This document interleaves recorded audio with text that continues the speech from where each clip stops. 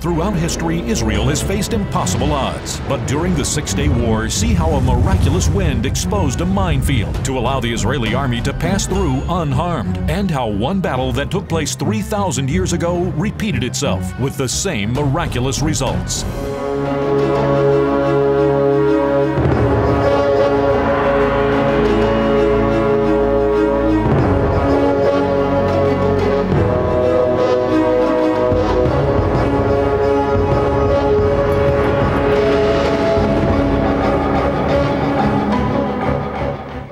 Hello, Sid Roth here. Welcome to my world where it's naturally supernatural. I'm going to talk about a miracle today, a series of miracles uh, that defies any logical explanation. 48, you just saw some video footage of the war, of Israel declared a nation and 12 enemy armies attack it one day later. They didn't have an army. I mean, they were merchants and shopkeepers uh, and, in the arts. They, they, they didn't have guns, they, they, they had a, a few guns. 12 well armed armies attacked them. They should not have survived from day one. My guest, Hollywood film producer Bill McKay. Uh, Bill, I am told that West Point refuses to study the battles of modern day Israel. Why? The probabilities cannot be calculated. Uh, the experts at, at uh, most of the military institutions, including West Point, have literally written off the battles of 1948, 56, 67, and 1973. They said we can't run the calculus on why. Is there anyone to your knowledge, that gave Israel a chance of any of the modern day Israel a chance of any of their major battles? As I went back to study all the major wars and the formation of the modern state of Israel, uh, there wasn't one military expert in the world or major military power from the Pentagon to the Kremlin that would have put money on Israel's survival. In fact, they were unanimous in their predictions that Israel was going to fall in each case.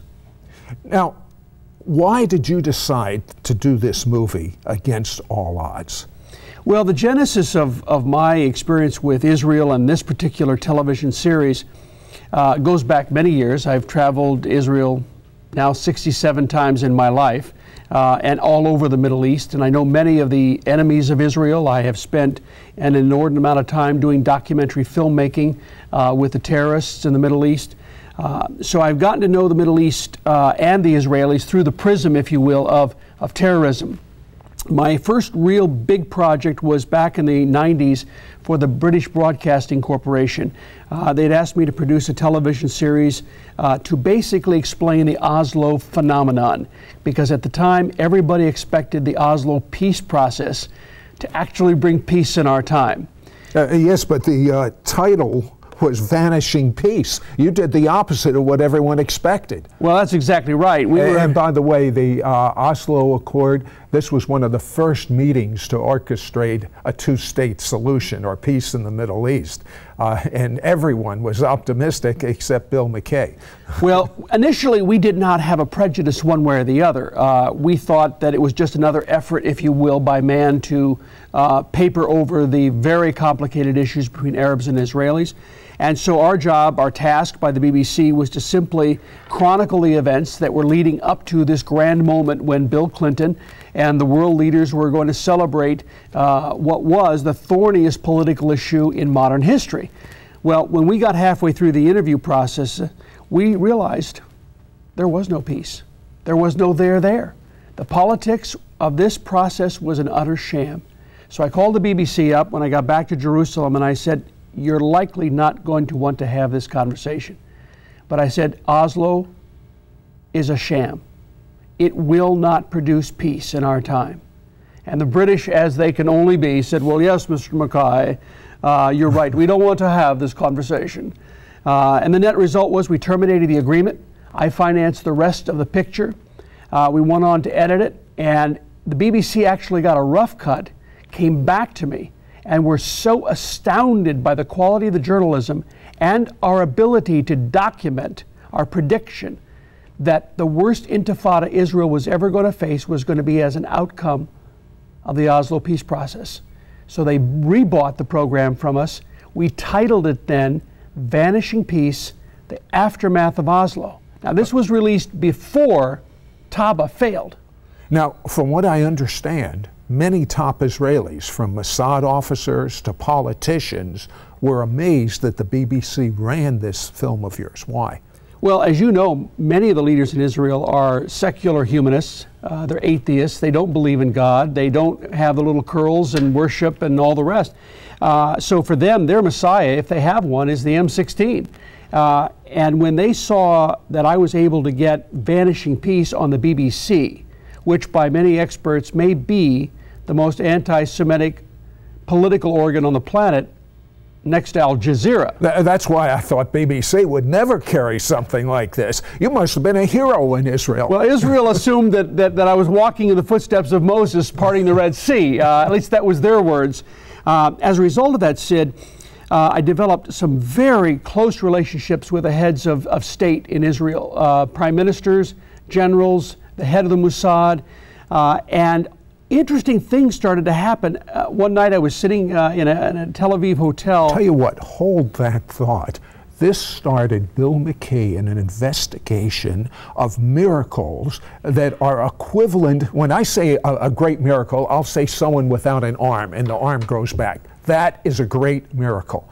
The miracles that he investigated with due diligence, with several witnesses for every miracle, amazing, amazing equivalent to an arm that's missing growing out.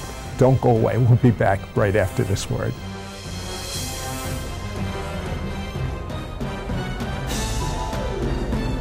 We'll be right back to It's Supernatural. We now return to It's Supernatural. Hello, Sid Roth here. Welcome to my world where it's naturally supernatural. I love the rarefied air of heaven, and you're going to find out about miracles that few people have ever heard of. My guest is Hollywood film producer Bill McKay.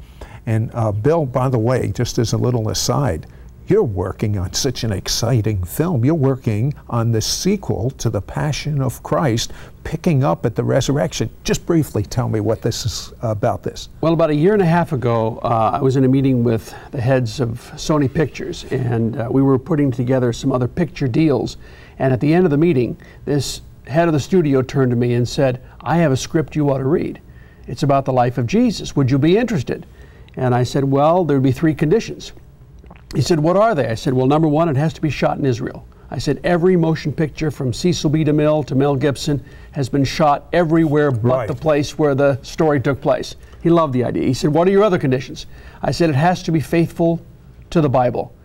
And he laughed. He said, Well, I'm Jewish. He said, I have not much knowledge of your Bible, but he said, My experts tell me it is. He said, What is your last condition? And I said, It's time to have Jesus portrayed as a Jew. I said, we need to deal with the biggest lie that has been perpetrated on humanity that he is an Anglo. He belongs to the Jewish people, and it's time to tell that story.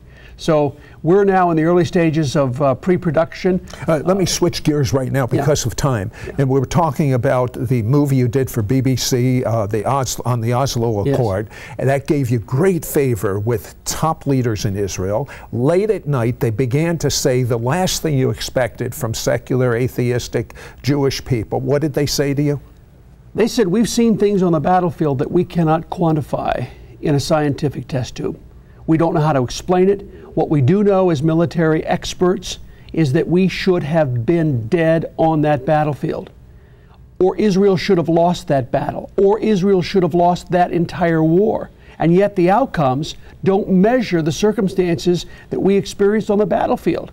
So as I begin to investigate the surrounding elements, several things jumped out at me. Number one, going back to the Old Testament, I found that in many cases, Sid, they were fighting on the same battlefields that Joshua and David hmm. and other greats fought on.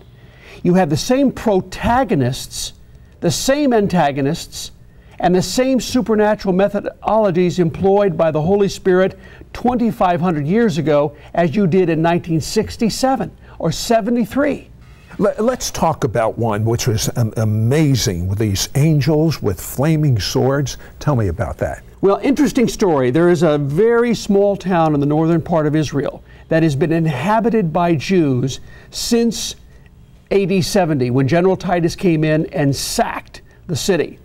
And Jews have made a determination that this is the land that was given to them by God through Abraham in a covenant. And so there have been a series of family generations that have lived in this same city and coexisted with the Arabs to prove God's purpose and plan. And just prior to 1948, uh, the Arabs decided they knew the politics were, was beginning to shift, the British were planning to leave, and so a group of Arabs determined that they were going to wipe out the last vestiges of these Jews that were living in this city. And as they plotted their plan, the rabbi's house was surrounded by the Arabs, and they were coming in to burn them out. And as they made their way in the middle of the night, and as they got proximate to his home, they saw seven large angels with flaming swords at the ready, and every one of the Arabs scattered for fear of what they were dealing with. But some of the other things you verify in your film, it's, I mean, you think that's amazing. Uh, that's a nothing compared. Uh, what about the minefields? Is that unbelievable? Uh, set the stage for the minefields. Well, 1973, uh, the Golan Heights, uh, the Syrians were in control, and a group of Israelis, uh, tank commanders, were, were sequestered from their units and they were surrounded by Syrian tanks. And they were looking for a means of retreat because they were outgunned. And as they were preparing to make that retreat, one of the commanders realized that they were in a minefield. What, what, what is the probability of them hitting one of these mines? Probably 99.9%. I mean, they were. So, so why didn't they just retreat? Well, because they physically couldn't walk out without triggering a minefield, so it wasn't just oh, a matter. So of they were they, they, they, were trapped. They were trapped. They painted themselves in yeah. a corner. Yeah. There was no exit strategy possible anywhere possible. So I'll, I'll tell you what. I'm going to, in the next segment, I'm going to let you see some of this amazing, amazing footage. But how do you know this story is true? Well, there were eyewitnesses to the story. And but did you find eyewitnesses? Yes, we did. Uh, I actually had searched all over Israel to try to find uh, the man that was in charge, the commander of that particular unit. And I couldn't go with the story on television unless I had found him, particularly to authenticate this. And I was very discouraged because the story is remarkably powerful. Uh, came back to the United States. I was in a production meeting, and uh, Matthew Crouch said to me, My father, Paul, knows a man up in Seattle. I think you ought to talk to him. He would likely know some others that might give you stories for our series. So the connection was made, and in the middle of the phone call, it turns out David Yaniv was the commander that I was looking for. What's the probability of that? Well, again, it's the same probability. I mean, one, one person yeah, in the world. Absolutely. The one person in the world that he needed, he just happened to talk to on the telephone. I'm going to tell you something. The miracles you're about ready to see are equivalent to everything you've read in the Bible. Don't go away. We'll be right back after this word. We'll be right back to It's Supernatural. We now return to It's Supernatural. Hello, Sid Roth here with Bill McKay, and we're talking about the miracles in modern day Israel's history. Uh, it, it, the, our service academies, West Point, refused to study these wars because the results are too improbable. If there's no God, there should be no Israel. It, it's that simple. And Bill, you were talking when at the last segment about you bumped into the one person in the world that could verify some major miracles that were going on in Israel during its modern day history. History, and we were talking on the Yom Kippur War. I mean, a, a, uh, a war that Israel should never, ever have won. They're, they're, they're praying in the synagogue Uh, I mean, Golda Meir, from what I understand, was preparing uh, plans for a, a, government away from the nation Israel. Things yeah. were so bad. At this Yom Kippur War, there were some Israelis that were trapped, and you found an eyewitness uh, with about the minefields. Explain that again, and then we're going to see it. Sure. David Yaniv was a colonel in the uh, IDF, and he was a commander of this small tank force surrounded by a Syrian armada of tanks and he was in the middle of a minefield. So the options were absolutely limited. And he then ordered his men to get out with their bayonets and tediously go through uh, the dirt to try to lift out these minefields and then disengage each and every mine systematically. Uh, how deep were the mines? They were over 30 inches deep into the soil. How do you find, I don't know anything about this, but how do you find all of these mines? You do it by simply getting down on your hands and knees and crawling through the dirt and with your bayonet like an archaeologist with almost a feather like touch going through to find it because you if you trigger one of these things not only you but your entire company would be blown up but then a windstorm, which I understand is highly unusual, occurred. Tell me about that windstorm. Well, as David described it, he said that at that particular time of the year and the ferocity of the storm uh, was so great that those great Sherman tanks, he said, I stood next to my tank and he said, I saw the thing rocking off the ground. And the wind was. The wind was rocking a tank? A tank. And he said, by the time the wind passed through this valley, 30 inches of topsoil had been blown off of the land, and he said we could see every single mine. What's the probability of a wind of that magnitude? Well, even more important, at that particular moment in time. It's not that there aren't great winds, but at the moment that David needed it, his men needed it, the wind was provided by God. And he then saw the, the exit strategy because he knew where the mines were, and then they were able to escape. I'll tell you what, this changed the destiny of Israel. Let's look at this reenactment right now.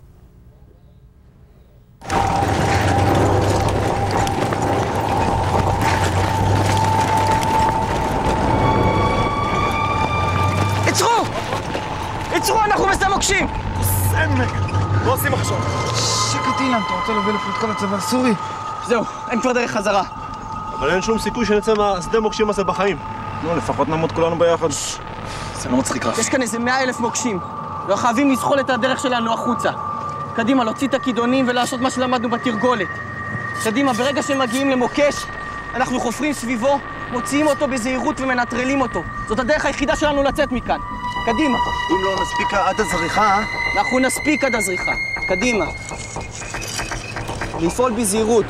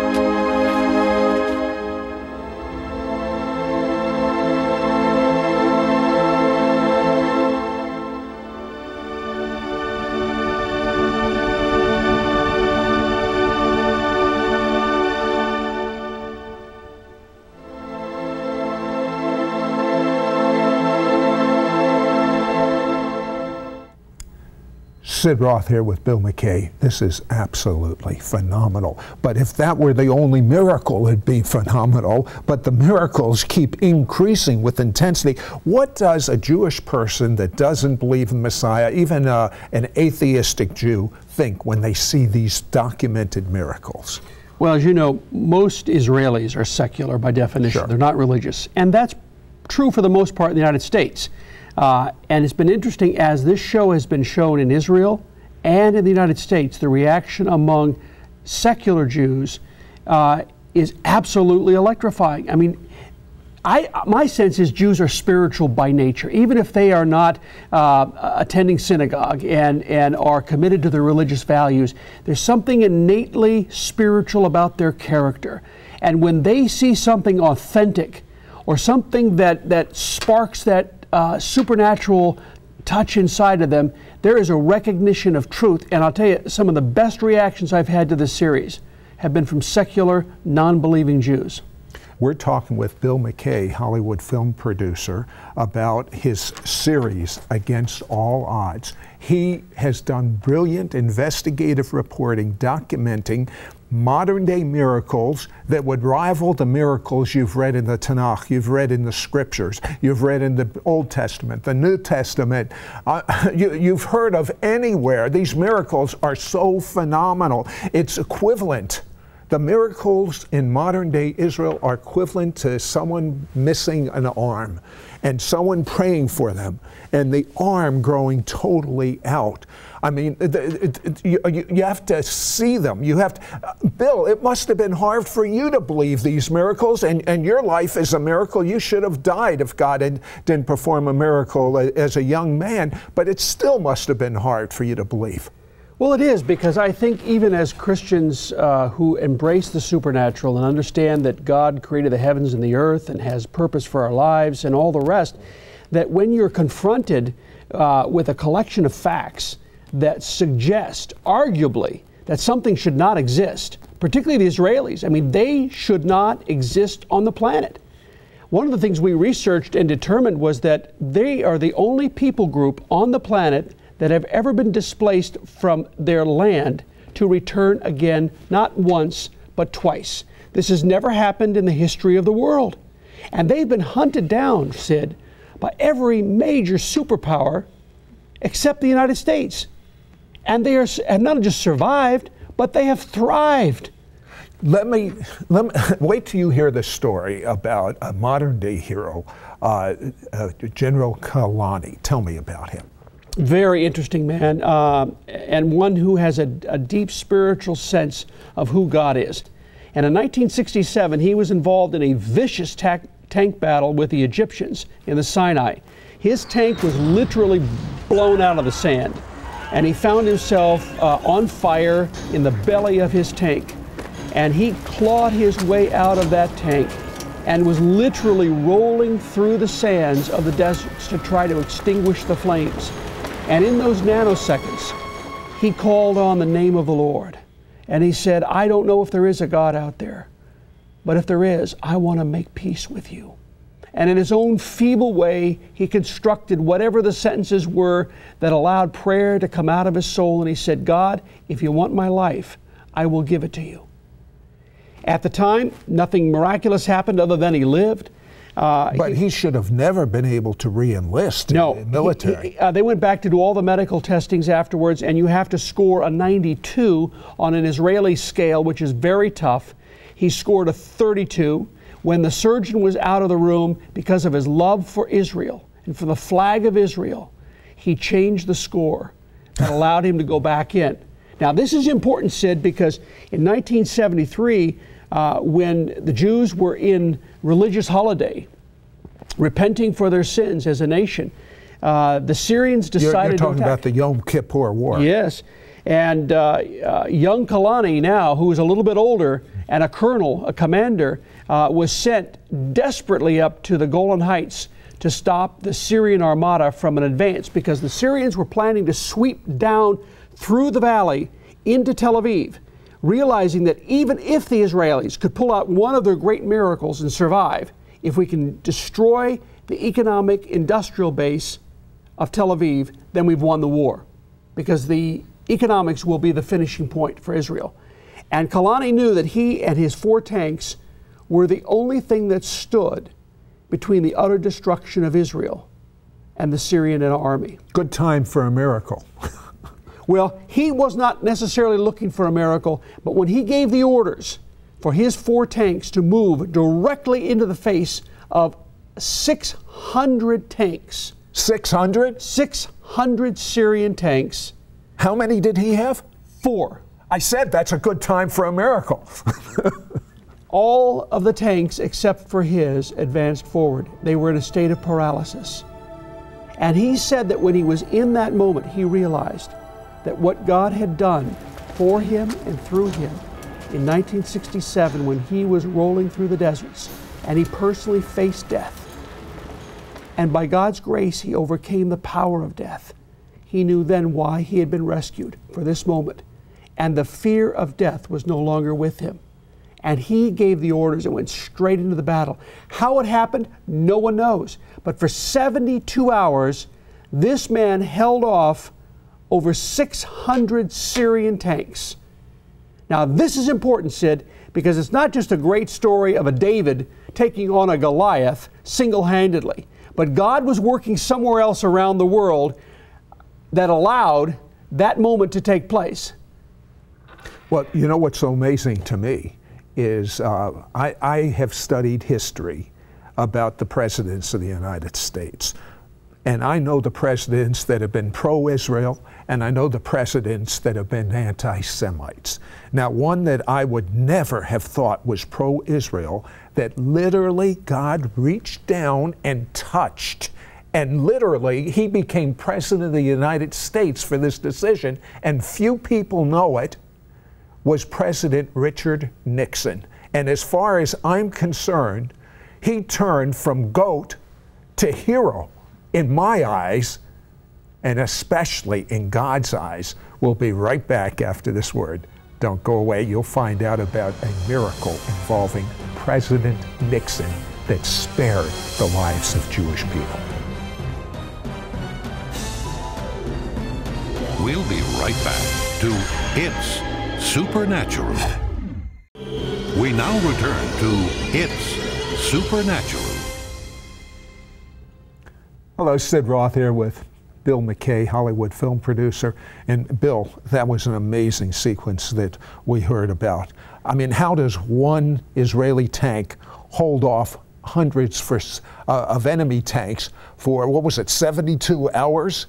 Yes. There, there is no explanation short of God, is there? There is none. Uh, and yet, the facts are stubborn things because not only did he accomplish the impossible, but while this David, if you will, this young David, uh, fighting off the Goliaths of, of the Syrian army, uh, he had no knowledge other than he was believing that this was the protection that Israel needed uh, in terms of her utter destruction. But while that was going on, uh, Golda Meir, the prime Isn't minister, it amazing? There's a plot beneath the plot. That's right. That God is working on. It's so wonderful. Listen. Well, he's a great storyteller. and uh, Golda Meir was in, in a desperate strait because she and her generals had pretty much concluded they were going to lose the war. They were preparing for a government in exile. Uh, she had been negotiating with Henry Kissinger, who was a Secretary of State at the time.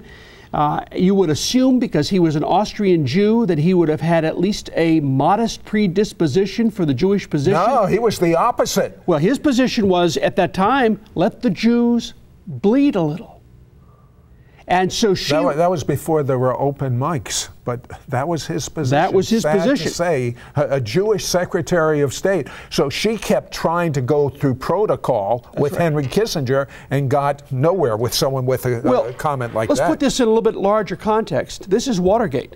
Richard Nixon is on the verge of being uh, destroyed politically right. by his opponents and being brought down. Under the quid pro quo with Congress, he was to have no foreign adventures. All decisions had to go through the office of the Secretary of State, Henry Kissinger. And if he had a foreign adventure, that would put the nail on the coffin for his impeachment. And it would trigger the impeachment process. So there was a checkmate in terms of his power by Congress. And so Golda eventually exhausted every opportunity with Henry Kissinger. And she realized In that moment, there was no other option except to pick up the hotline and call Richard Nixon. Nixon told the following story.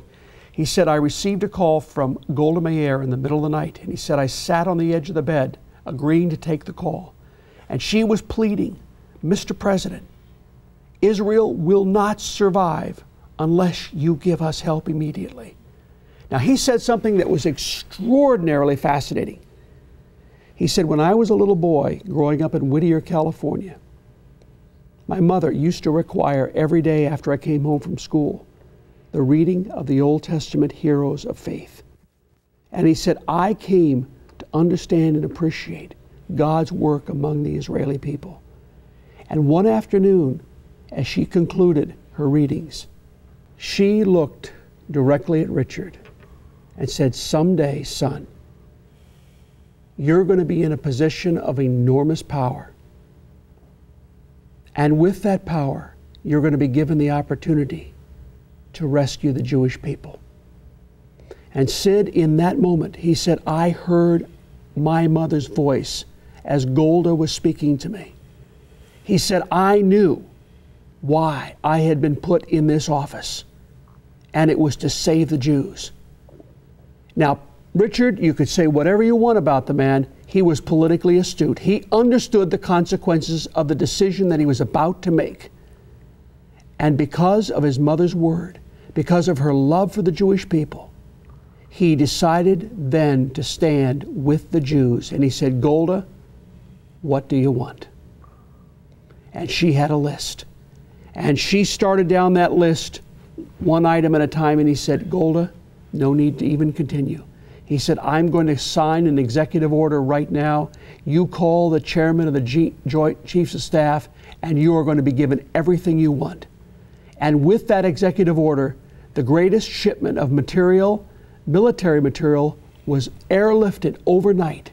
And hmm. that's the link between the 72 hours that Kahalani, by the power of the Holy Spirit, bought for Israel and for Golda and for Richard Nixon. And that's the story behind the story. You say you don't believe in miracles? I've got a Hebrew word for you. You're just plain meshuggah. I mean, this is all verified. And this this uh, DVD, Against All Odds, I mean, you, you've seen some of the reenactments. These are top Hollywood level reenactments. How many total, not in this particular DVD, but how many total miracle stories, I mean, miracle stories, have you heard that were worthy of investigation from, from the modern day Israel's history? Well, we have collected about a hundred. Uh, I have been told by my, my sources that work with me over there that there are many, many more. The reason is the Israelis never talk about it. Why? Uh, because I don't think they know how to quantify a miracle. I mean, yeah, and I think too, if a general were to ever publicly admit uh, that a supernatural phenomenon had taken place on the battlefield, it would diminish his prowess as a military man. Uh, it would provoke him to ask the question is there, is there any chance Israel would survive as, as a nation if the miracles you have personally investigated, and, and your investigation was very thorough, had not occurred, is there any doubt in your mind that Israel would be ex- in existence without the God factor? Sid, I have no doubt. And I'll tell you why. It's not to take anything away from the military capabilities. I mean, the Israelis have built one of the finest military machines in the world. And they've got resources and advantages and ideas and capabilities that are remarkable.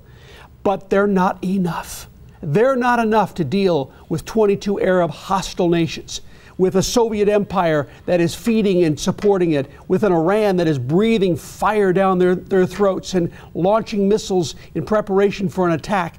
They need God, just as Joshua needed God, just as David needed God. The Israelis need him just as much then as they do now. And guess what? Us Israelis, we need God. But guess what? You need God as much as we do. And you're going to find out when we come back about a miracle that if you think what you just heard was something, this is unbelievable unless you believe in God and miracles. We'll be right back after this word. We'll be right back to It's Supernatural. We now return to It's Supernatural.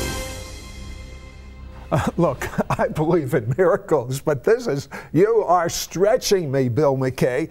Were you stretched? I mean, you believe in miracles, but were you stretched on these miracles? Well, in some cases, yes, because, uh, you know, I mean, I live in a physical world. Uh, I do believe that there is a God and, and that He is the creator of the heavens and the earth. Uh, and He certainly would have opportunity to intervene in the, in the course of men's events.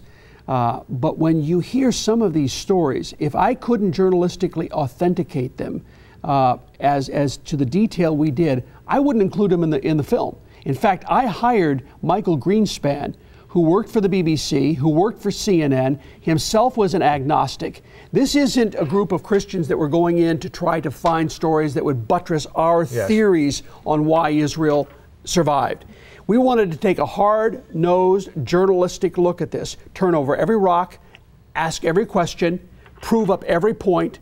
Now, obviously, you can't quantify a miracle in a test tube, but we could gather all the facts, and, and the basic thesis of the film is to say to the audience, you decide. We'll give you every fact, we'll give you every story that we know, but you must draw your own conclusions at the end of the day. All right, there, there- there's one, there's one miracle. There's so many miracles we'd like to show you right now, but there's one in particular. It's got to do with French Hill. Tell me about that. Well, in the Six Day War, uh, the Israelis understood the importance of Jerusalem. At that time, the city was divided, as it had been since 1948. And the great dream, the great hope of many Jews around the world was that Jerusalem would be united again as the city of David. And on that purpose, uh, a group of nine Israeli soldiers were commissioned to find a back route into Jerusalem so their tanks could follow in purposes of taking East Jerusalem. And a group of soldiers were moving up through an area called French Hill. And as they crested the hill, they realized they were being surrounded by 250 Jordanian soldiers. Now, Sid, what's really important to know is two things. Wait a second. How many Israelis? Nine. Nine. How, how many Jordan, that Jordanian soldiers? That was the elite army of. Oh, no question. Of the Arab armies, this was the one that terrorized the Jews the most because uh, these guys were tough warriors. And more than that, there was a savagery, if you will, much like when the Americans used to fight the Indians. Uh, the, the Jordanians would go into a lather and they'd begin to chant.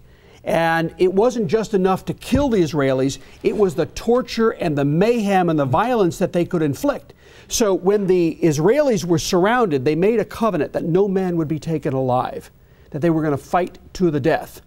And so they dug in on French Hill, and the Jordanians were going into their war whoop, if you will, and engendering a level of, of violence so that they could commit the atrocities that they were seeking in their own pleasure of war making. And when they got within 30 feet of the Israelis,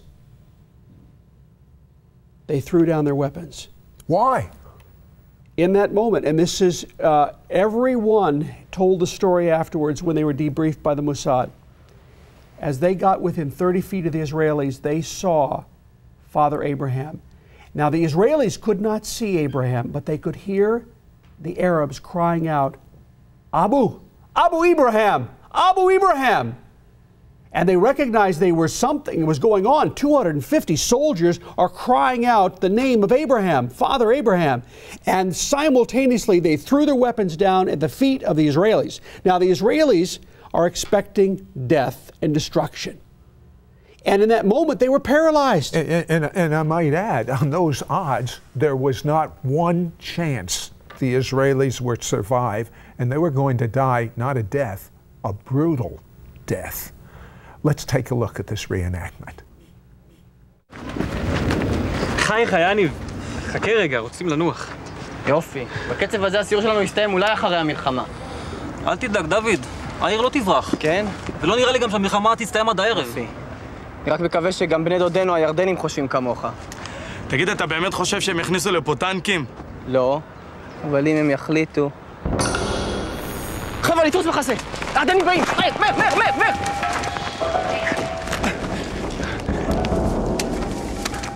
איפה יודעים שאנחנו פה? תגיד, זה משנה עכשיו? אני רואה כוח בסדר גודל של פלוגה. אולי יותר. צמדו לקרקע כמה שאפשר, אולי הם לא יבחינו בנו. אין לנו ברירה. קבל לנו תחמושת. אפילו אם הייתה לנו זה לא היה משנה כלום.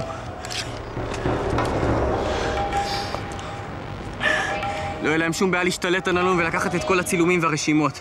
ליאור. כן. יש עליך רימון בחגור? כן. אם הם יתקרבו, תשתמש בו ותוודא השמדת המצלמה וכל החומר שאספנו. קיבלתי. יצחק, קיבלת? لقد رصدناهم آخر مرة على التلة راقب ذلك المكان سيدي إني أراهم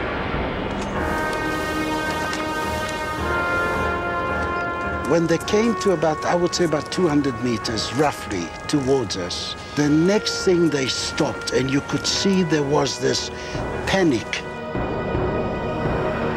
And they started to shout,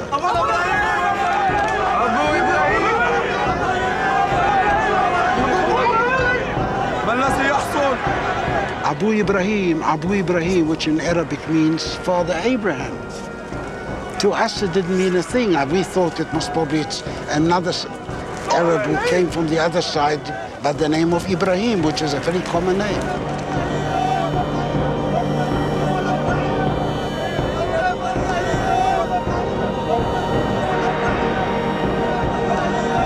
בורחים! ראיתם את זה?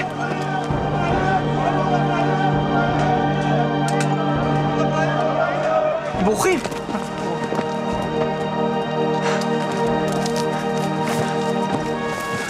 ראיתם את זה?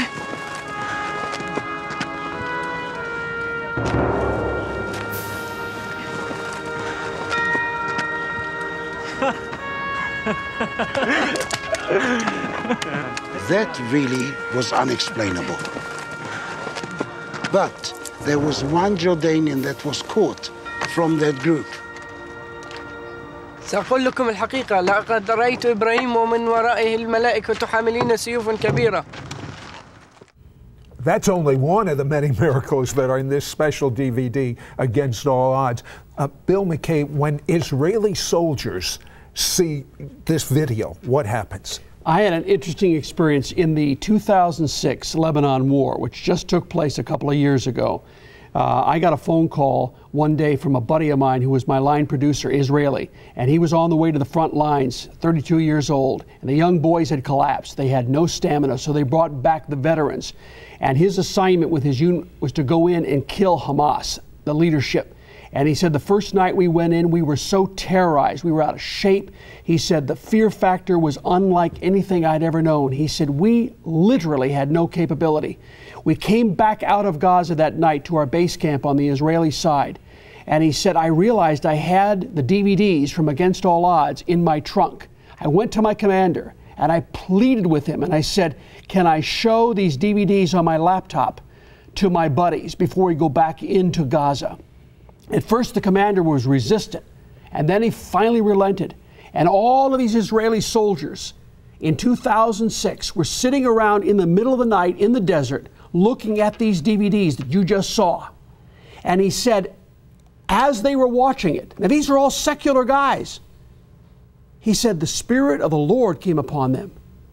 And he said, We believed that we could take the land back.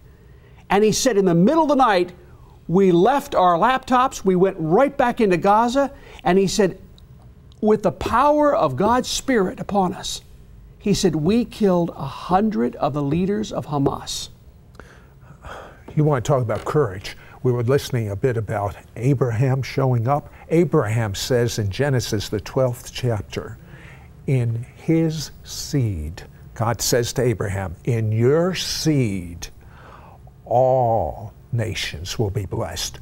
Who was blessed from the seed of Abraham? Jesus is the seed. He's blessed you. Receive him now.